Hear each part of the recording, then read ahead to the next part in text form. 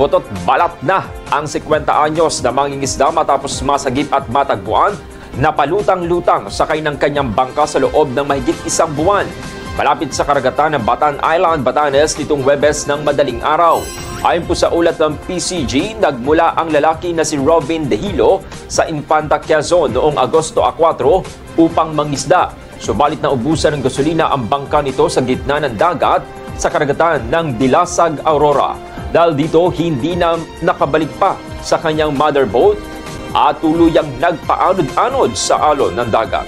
Sa kabila naman ng search and rescue operation na umabot ng ilang linggo ay hindi natagpuan si Dehilo. Sa tulong naman ng mga tripulante ng MV Veronica, namataan ng isang puting motor bangka na palutang-lutang sa karagatang sakop ng Basco kung kaya't agad siyang na-rescue.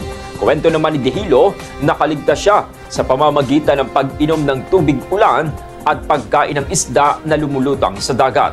Ayon pa sa PCG, naanod sa Batanes si Dehilo dahil na rin sa mga bagyo at low pressure area na tumama sa hilagang bahagi ng Luzon nitong mga nakaraang araw.